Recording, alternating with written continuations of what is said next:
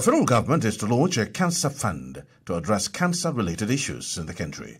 The special advisor to the president on media and publicity, Mr. Femi Adesina, stated this in Abuja during a sensitization seminar on breasts and cervical cancer for NYSC officials from the 36 states and the FCT. Sandra Odiki reports that the event was organized by an international non-governmental organization, OCI Foundation, in collaboration with the Nigeria Cancer Society and First Ladies Against Cancer, FLAC.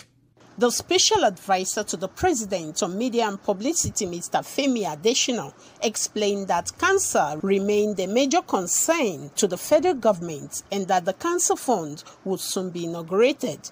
It is the first of its kind in Nigeria's history. Muhammadu Buhari administration has set aside a certain percentage of the budget annually to fight cancer. So I want to thank OCI for being a partner in the war against cancer. The president of the First Ladies Against Cancer FLAC, wife of Niger State Governor Hajia Amina Bello, described the collaboration with NYSC and OCI Foundation as timely and laudable.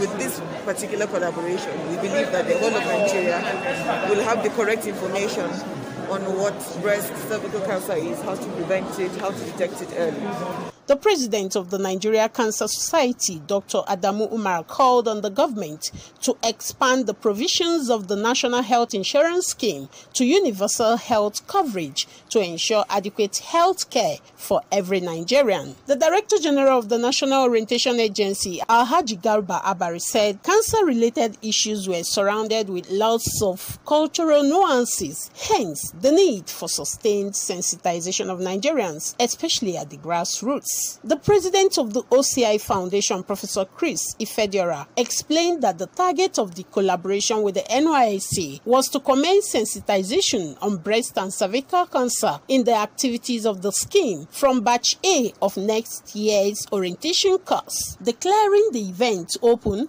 the NYSC Director General, Brigadier General Shoaib Ibrahim, represented by the Director, Skill Acquisition and Entrepreneur, Mr. Hilary Nasamu, said the scheme scheme had all it takes to adequately sensitize young people on preventive measures against all types of cancer. Any endeavor which seeks to make life better for Nigerians, NYSC will be there. The Director General of NYSC expressed the confidence that the project would contribute immensely to the well-being of Nigerians.